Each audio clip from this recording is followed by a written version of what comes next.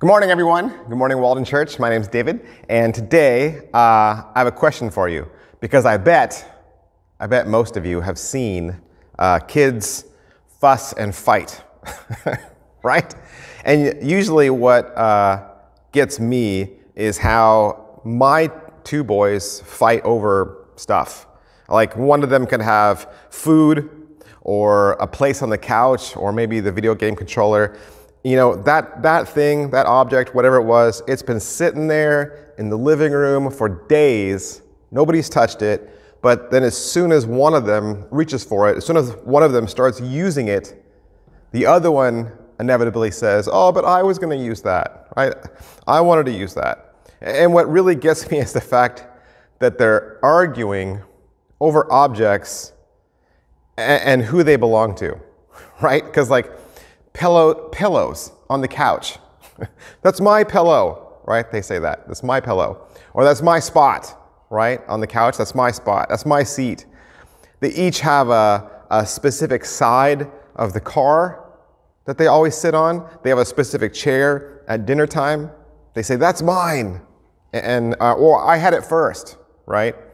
You've, you've heard that, right? You've heard that. Of course. Now, Obviously, as parents, we want kids to learn how to share, right?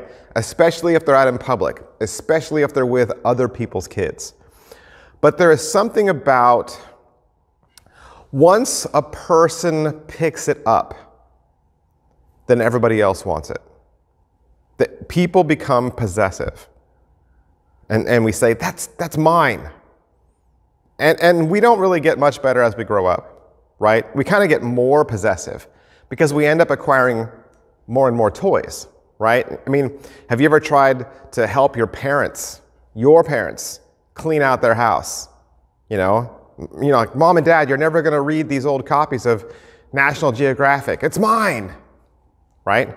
I had a relative that was saving all the old plastic bread ties in a drawer, filling up the drawer with them.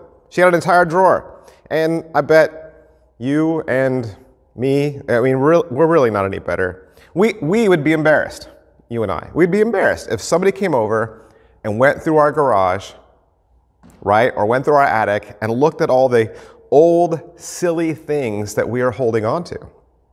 And I'm sure if a stranger came along and they said, ski jackets, old teddy bears, an oil painting you did in high school, why are you saving all this stuff? What would our answer be? It's mine, right? Where am I going to go with this? Oh, yeah. I'm going to talk about money today. Yep, that's right. The old money talk. Pastors have to talk about money once a year, it's kind of in their contract. But that's usually the sermon that you want to skip. you know, if it's on the church calendar, I'd, I'd skip it. And if you're visiting from out of town uh, this week, that's the worst. To show up the week the pastor's talking about money, but let's just let's just stop and and check ourselves first, right? Because a pastor can talk about serving, and we're all fine with that. Spiritual gifts, great. Heaven, hell, the devil, it's fun every now and then. Love your neighbor, great talk. But money, ugh, no. I mean, is, is money even mentioned in the Bible? Sure enough, you do a little bit of research and you'll discover that Jesus talked about money a lot. And if he wasn't talking directly about finances, he used the topic of finances as a reoccurring character in his parables. 11 of his 39 parables have features that show money or wealth. And there's over 2,300 verses in the Bible that talk about money. Why do you think that is? Well, I think it's because we as people desperately need wisdom when it comes to our personal finances. I mean, if I did, if I was going to describe Jesus and I had one word to describe him, of course, I would say love, right? I would say love. But I think even Jesus realized that some of our struggle was with our spending habits, that we actually had more issues with money than we do with love. We, we also know that people in positions of power people in our government, they also seem to have spending problems, right? So the fact is, people from all walks of life have the same issue, including how we handle money. There are certain, uh, certainly some people who have a much better handle on money than other people. However, what I've learned is that even the guy who's driving the nicest car could possibly also have very little money in the bank. In Matthew 6, Jesus says, Do not store up for yourselves treasures on earth where moth and rust destroy and where thieves break in and steal, but store up for yourselves treasures in heaven where moth and rust do not destroy and where thieves do not break in and steal. In other words, Jesus is saying that there is a, there is a fragility to earthly investments. And, and we're finding this out all too well. The things that we hold on tightly to, the things that we say, this, this is mine, those things, they're temporary. Today, there are high rates of depreciation, identity theft, we have an unstable stock market. With all of that in mind, people are putting too much faith in their financial system and they store up money. And all of it is just a big, huge game of chance. They feel like they're being forced to do something when they're asked to give it to the church, right? And they hang on to it instead like a child that's fighting over their toy. And let's be honest. I said, I mentioned the church. The church is no better, right? The church is no better. We, we've all seen poor examples of the way some churches and some uh, nonprofits handle their money. I get so tired of people saying, uh, in church that we should preach health and wealth and prosperity. The, there's, there's all kinds of beautifully adorned church buildings. And there's nothing wrong with that. There's nothing wrong with a beautiful church. But they're there beside this gold plated this or this silver plated that. And they're telling the poorest of the poor people in their country that they could become rich if they would just invest their money into, into their ministry. And then the pastor gets on board his private yacht or his personal jet and he flies off for a week. I heard one minister say at one time, he promised that if, this, that if you, right, he says, if you just give us $10, then God would give you back $100.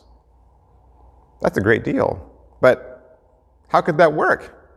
That can't work, right? If, if it really worked like that, then the church should be sending everybody $10, hoping that the church gets back $100. But it doesn't work like that. God is not your money changer, God is not your bookie. But I will tell you one thing you will never be able to outgive God. Now, maybe I'm talking about money because it's that time of the year, summer's over, right?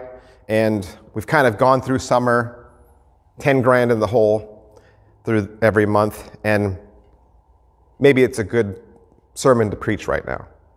But I think the best reason to preach about money this morning is because it's highly discussed in God's Word. First and foremost, I just want to reassure you I am not out to get your money. I am not out to get your money. Classic survey many, many, many years ago a survey was taken of churches across the states, and it was noticed that on average, 90% of the work done in our country today, 90% of the, the work done in the church in our country today, 90% is done by 20% of the people. 90% of the work is done by 20% of the people. It's also observed that 90% of the tithes and the offering were also given by 20% of the people. And I think the largest reason for that is we all have this misunderstanding about what the tithe and the offering is about. Because I'm sure that all too often people feel like someone is trying to force them to do something. And if we force them to do something, then they're holding on to their possessions and their wealth that much tighter. And so the second thing I want to say is no one wants to force you to do anything. No one wants to force you to do anything. Uh, if you go with me to the book of Malachi, Malachi is the last book of the Old Testament. And if you study the entire book of Malachi, which isn't really very long, it's only like four chapters long. Uh, if you study the book, you can see that the nation of Israel is in decline, spiritual decline. And the reconstruction of the temple had been completed. And what happened almost immediately was corruption entered into it. And Malachi said, You have, you have polluted the bread upon the altar. Corruption was widespread, divorce was a normal thing, people were sinning, the nation as a whole was going down spiritually. I know that doesn't sound relevant today, nothing like that would happen today. Anyway, if you go to Malachi chapter 3, starting at verse 7, it says, From the days of your fathers you have turned aside from my statutes and have not kept them. Return to me, and I will return to you, says the Lord of hosts. But you say, How shall we return? Will a man rob God? Yet you are robbing me. But you say, How have we robbed you? In your tithes and contributions. You are cursed with a curse, for you are robbing me, the whole nation of you. Bring the full tithe into the storehouse, that there may be food in my house, and thereby put me to the test, says the Lord of hosts. If I will not open the windows of heaven for you and pour down for you a blessing until there is no more need, I will rebuke the devourer for you so that it will not destroy the fruits of your soil, and your vine in the field shall not fail to bear, says the Lord of hosts. Then all nations will be blessed for you, will be the land of delight, says the Lord of hosts. In that passage, he starts off in verse 7 by saying, You have broken the law. You've broken the law. You have failed to keep the commandments that I have given you. You've done this for a long time, since the time of your fathers. So, this is not a letter to a person right? This is not one person who's just kind of, you know, lost their way. This is a letter to a group of people. This is a letter to a nation. And God says, But if you start obeying me again, I will return to you. And the people are shocked. In verse 7, they say, How, how shall we return? What do you mean, God? What are you talking about? How, how can we return to you? We're already with you, right? I mean, we haven't done anything wrong. We're righteous people. We're the chosen people. What are you, what are you talking about? How do we return? See, they don't even acknowledge that they have departed from God's law. And God answers them and says, Will a man rob God? Yet you have robbed me. And again, they don't understand. And in verse 8, they say, How, how did we rob you? And we could just stop right there and we could just ask that question of anyone, right? How, how does someone go about robbing someone? You can either take something that belongs to somebody else, or you can hold something back that belongs to somebody else. If you came into my store and you gave me a 20 and I was supposed to give you change, right? I didn't take anything from you. I was supposed to give you change but I held it back. That would still be robbing you, right? I'm not giving you back what you are owed. Let me read to you something from Psalm 50. It says, I will not accept a bull from your house or goats from your folds, for every beast of the forest is mine, and the cattle on a thousand hills. I know all the birds of the hills, and all that moves in the field is mine. And if I were hungry, I would not tell you, for the world and its fullness are mine. What is God saying there? He's saying, I don't need your offering. You come to me with your offering and you think I need it. I don't need it. And you, you bring me food as an offering. I don't need food. What is, what is all this? And why does God say this? Why does God say He doesn't need your offering? He says, because it's all mine anyway. He says, don't act like I need this because I don't need it. It's all mine. All of it is mine. God owns it all. God owns everything. So why do we ever think it's ours? Why do we hold on to it and say it's mine?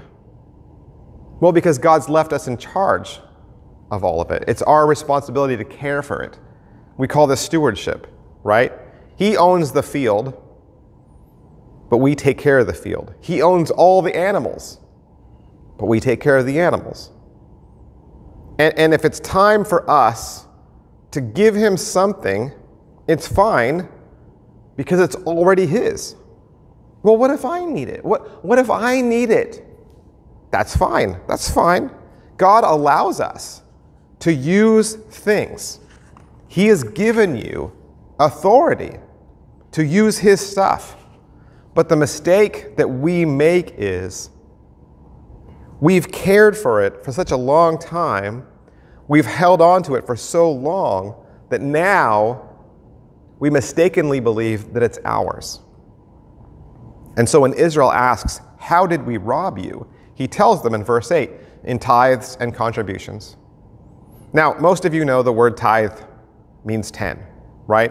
In the law of Moses, Leviticus chapter 27, the Israelites are commanded to tithe, and this includes the seed from the land, the fruit from the trees, every tenth animal from your herd, everything. But tithing has been around even longer than Moses. In Genesis chapter 14, we see Abraham, he gives a tenth of all his goods, everything he uh, acquired in battle, and he gives it to the high priest Melchizedek. And the Bible says that Melchizedek was the priest of the God Most High. In Genesis chapter 28, Jacob promised that he would give a tenth of all he received to the Lord. And it seems like we can even remember Cain and Abel, right? They go to God with an offering and they sacrifice to God. One gives the first fruits of his field, and the other one gave from the first of his animals. Is an offering different than a tithe? Yes, I would say an offering is different than a tithe. I think offerings are when we go beyond that which we are responsible for. Now, some people would argue that what all these people were giving fruits, plants, animals, stuff, right? Some people would say, well, that's different than giving money. That's not the same thing. You know, if I have, if I have uh, 10 crayons and I have to give one to God, that's not the same thing as having $10 and having to give one to God. But I don't think that that's not a valid argument when you talk about wealth. I think even though people back then didn't necessarily have paper money and bank accounts, right? This was their money because it was everything they owned.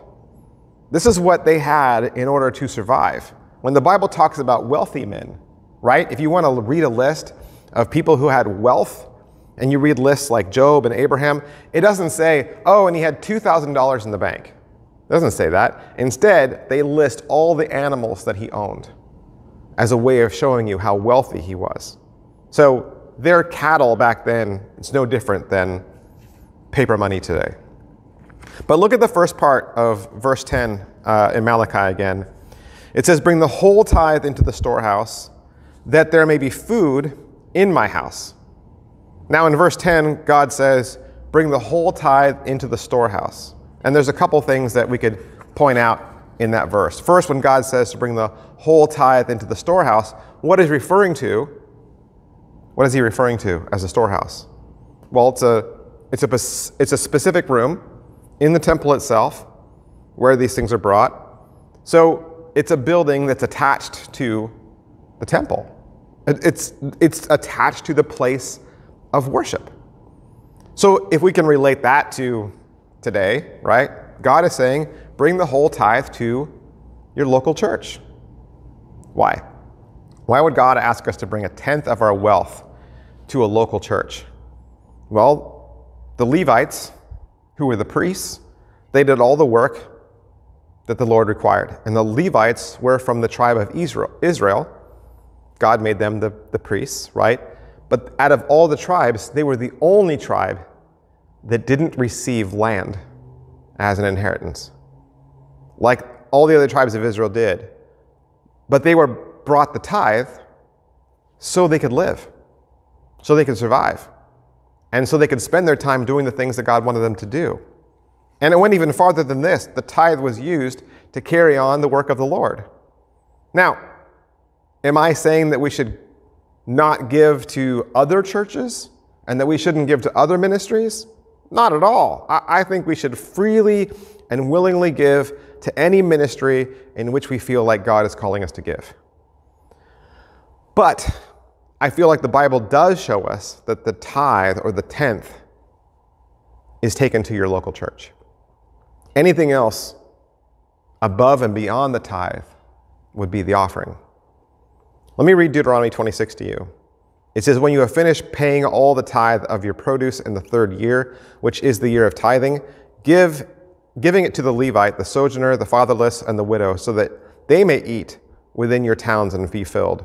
Then you shall say before the Lord your God, I have removed the sacred portions out of my house, and moreover, I have given it to the Levite, the sojourner, the fatherless, and the widow, according to all your commandment that you have commanded me. I have not transgressed any of your commandments, nor have I forgotten them. The tithe was to be used to carry out the work of the Lord, right? To advance the kingdom of God, but, like we just read from Deuteronomy, also to help people, right? The, the ministry, the church, the, the, the temple helped people in need. And I told you earlier about how uh, 20% of the people give 90% of the tithe that the church receives. I'm going to give you probably my own probably my own personal opinion right now, but I'm under the opinion that all the Christians in the church today of everyone who attends any sanctuary, any gathering of worship, if everybody who attended gave one tenth, if they all followed the rule and gave a tenth to the Lord, I believe we wouldn't need government welfare programs. I believe we wouldn't need Medicare. I believe we wouldn't need, we wouldn't even have world hunger. Because if the church of Jesus was functioning the way he designed us to function, I believe there would be no need for any of those programs anymore. We would take care of one another. I think God gives us a, a, a graceful supply. That's my opinion. When God is talking to this nation, when God is talking to the people of Israel, he says, You're robbing me. And he goes on to tell them that they're under a curse. Right? You saw that. They're under a curse because they are robbing him. And the curse that he that was promised to them was because they were being disobedient. There was a drought, there was bugs eating their plants. Um, grapes were falling off the vine before they were ripe and hitting the ground. And it was kind of like the people were saying, God, all these terrible things are happening to us, right? And we're becoming more poor, we're becoming more destitute, we're becoming more sick. You can see, right, God? You can see how bad of a year that it's been for us. So, right now, we can't afford to tithe. It's not a good year for us to tithe. This happened to me once. I got a brand new job, and I was all set, all excited, you know, to, to give my first tithe check to the church. I was going to tithe to the church.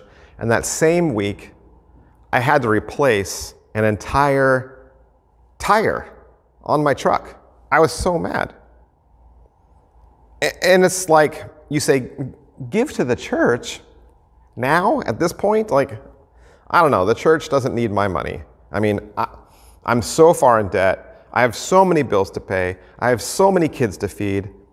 I can't afford to tithe. But God is telling the people, no, no, no, no, you have it backwards. You can't afford not to tithe. God tells Israel, if you obey me in this, if you return to me what is mine, I will open the floodgates of heaven and I will pour out so much blessing on you that you won't have enough room for it. God says, You can't outgive me. Now, we've done a lot of studying here, and all of this was Old Testament, Mosaic, Levitical law. But that's kind of where it ends. There's no commandment, right? There's no 11th commandment that says, Thou shalt tithe. It's not, it's not there. Plus, nowhere in the Bible do you ever see Jesus command you to tithe. It's nowhere. Nowhere in the New Testament are we commanded to tithe. I mean, it's mentioned a few times, but there's no specific command that's given. So we might feel like the church, the church is forcing us to give, but that's not actually what's happening. In fact, Jesus says in Matthew 23 Woe to you, scribes and Pharisees, you are hypocrites, for you tithe mint and dill and cumin, and have neglected the weightier matters of the law, justice and mercy and faithfulness. These you ought to have done without neglecting the others. You know, if you know your plants, mint and dill, they are like super tiny, right? They're the tiniest of plants and leaves. And Jesus, Jesus is saying, you guys are you're being so meticulous and so legalistic that you're going through and you're counting the leaves on your plant and you're making sure that you give one one leaf for every 10 leaves you're you're getting way way too legalistic. And then you're ignoring some of the heavier more weightier uh, commands like you're not you're not you're not interested in life you're, you're you're not following through with justice you're not offering mercy you're not being faithful. And jesus says you're you're a hypocrite and if you study this verse, what Jesus says is, I, I don't want you to give up paying your tithe, but don't tithe legalistically. Don't, don't cheat your brother and then turn around and, and pay me. And if you do that, you're a hypocrite, Jesus says. For Jesus, it's not about being legal, and it's not about observing the law. It was about love and following your heart. And I think that's why we are so confused when it comes to tithing. It's not a legal matter, it's not a command, it's a matter of the heart. It's not an Old Testament command, it's not a New Testament verse, it's a heart matter. The 10% tithing thing, it, it's just a guide. It's just a guide gross or net, it's just a guide. The best I can tell is a tenth is the minimum. A tenth is the minimum amount that's ever mentioned in the Bible as to how much we are supposed to give back. But Jesus is not up there with a calculator adding everything up saying, okay, all right, all right. How, how, much, how much do you owe me? This week. I don't, that's not happening. Instead, I think Jesus is saying, How much do you love? How much do you love your fellow person? How much do you love God? And our actions dictate, show our heart, because this is a heart matter. Because if you're not the kind of person that wants to give freely, if you're not willing to give back a portion of what you've been allowed to have, if it bothers you to give it, then don't give it.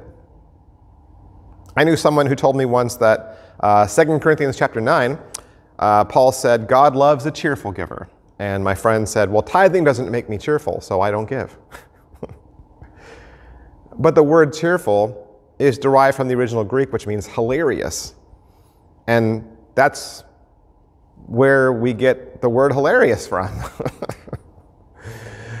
that means God wants us to be happy and willing, right? Willing to give. He wants us to give hilariously, not, not that we're happy before we give, right? But that giving should make us happy. Giving should make us happy. We should be happy to give because giving helps fulfill the great commandment. Jesus said, Love the Lord your God with all your heart, soul, and mind. This is the first and greatest commandment. And the second is like it love your neighbor as yourself. And if we follow these commandments, if we love God with everything we have, with our total being, if we love our neighbors as ourselves, then we will learn. We will learn to let go. We will not hold tightly and say, This is mine. It's a heart matter. We'll, we'll say, instead, how much, how much further do you need us to go? How, how much do you want from me to help these children know more about Jesus? How much do you need to help those in need? How much do you want to help spread the gospel? How much do you want so that I can be a part of the kingdom work being done in this neighborhood. The Bible says in 1 John, But if anyone has the world's goods and sees his brother in need, yet closes his heart against him, how does God's love abide in him? I want you to notice one last thing that's here again in Malachi in verse 10. It says, Test me in this, says the Lord Almighty, and see if I will not throw open the floodgates of heaven and pour out so much blessing that you will not have enough room for it. God says, Test me. Test me in this. Try me. See what will happen if you're obedient. God says, Test me in this. Because we can't outgive God. He may double your money, but He doesn't promise that. He does promise that He will bless you abundantly. He does promise that. And the Bible says, Test me and see. I wish I had thought of this illustration I found, but I didn't think of it. Uh, I heard a famous preacher say once that most of us don't have the nerve to go to a restaurant and not leave a tip right? We just say, this, that's so rude. And most of us would feel horrible if we gave anything less than 10%, 15%, right? And, and that we would be ashamed. I can't believe that, you know, are you the kind of person that leaves less? And yet we find it difficult to give 10% of God's money to Him. It's not a legal matter. It's not a spiritual matter. It's a heart matter. And it's between you and God and what God is calling you to do. I'm not here to tell you to do anything. And I'm certainly not here to force you to do anything. I would just say, seek God's will in all things and just remind you that you can't outgive Him. You can't outgive God. Let's pray. Lord, we know that this is a difficult topic for many of us, not just in regards to tithing, but just in how we use and spend and save our money. Perhaps the reason why there is so much to say about money in the Bible is because we need wisdom. That's why we buy books about how to generate wealth. That's why we go and listen to people speak about how to get out of debt, because we're curious how to handle money. Lord, we realize that it's all yours. Everything is yours. And we want to be cheerful givers and we want to give back freely. We want to be good stewards of the things that you have left for us. So we just ask that you would continue to govern our hearts, walk with us through this matter, and help us to remember that we can't outgive you. And that if we would just follow you and obey you, you would continue to be our God, our Heavenly Father, and bless us daily. Amen. Well, thanks for coming and hanging out with us. Thanks for being with us through this, uh, this topic. And we hope you've had a great summer, right? We hope you've had a great summer. Our kids are uh, returning to school this week in Texas, and so we're really, we're really all excited about that. But we have two services every Sunday that we'd love you to be a part of. We have a 9:30 traditional service on Sunday. We have a choir. They're going to sing all of your favorite standards, all your favorite hymns. Uh, we sing the doxology, we say the Lord's Prayer, we have communion, uh, we do responsive readings. It's everything you remember from church growing up. Also, we have a contemporary service at 11. We have a worship band, and we just ask that you come casual, come however you feel comfortable, uh, and bring your kids because our 11 o'clock hour is also when we have a children's program, youth. Uh, we have youth during the week as well. Our youth group meets every Wednesday at 5:30, and we will even feed them dinner. We'll keep them for about 2 hours and we'll send them home to you. I love you guys. I'll see you next week. Bye.